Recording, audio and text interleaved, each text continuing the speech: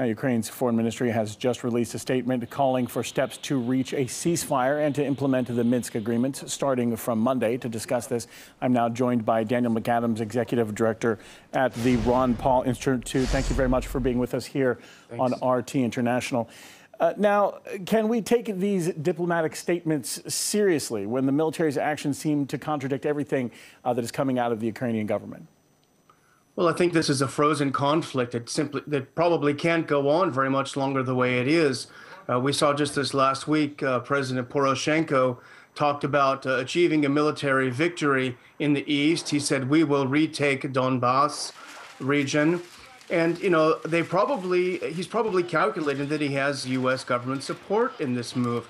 If you remember back at the end of last year, the Ukraine Freedom Support Act, which was passed by Congress and signed by the president, uh, Section 3 of that act states that it is U.S. policy to assist the government of Ukraine in restoring its sovereignty and, and uh, territorial integrity.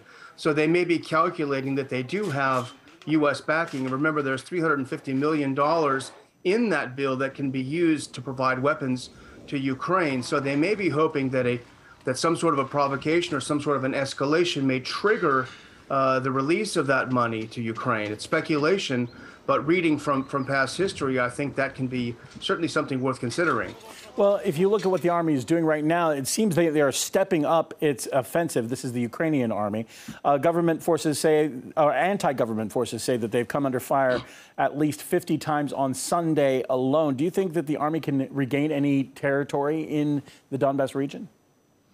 Well, I think they've claimed that they've retaken the airport or part of the airport. I don't know if uh, how, how true that is or how much truth there is to it.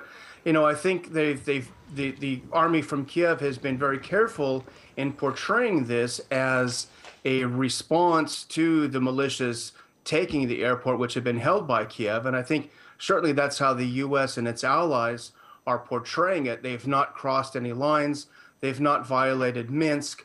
Uh, so therefore, they're in the right. However, this is an es- escalation, and I think any one of us who is watching this understands that there is there has been no real ceasefire. There've been over a thousand people, the majority of them being civilians. Uh, in that uh, in the in- independent seeking region that have been killed since the ceasefire was announced just a couple of months ago. So for these people, there is no ceasefire. these skirmishes uh, as you say, are escalating. And I think it's leading to something much bigger. Now, about that, something much bigger, you touched on it a little bit before. What about the timing of all of this? Why now? Well, I think the uh, Ukrainian army has had a chance to regroup. I think they feel much more confident that they have solid Western support. Pardon me. I think you have a new Congress in Washington uh, that's dominated by very, very uh, neoconservative, very aggressive Republicans who've been very, very strongly one sided in their view of this conflict. And they also feel that they have some, um, uh, some authority to, uh, to continue U.S. intervention in the region rather than to back off and let uh, Ukraine uh, uh, solve its own problems. So I think uh, there is a real renewed interest in the U.S.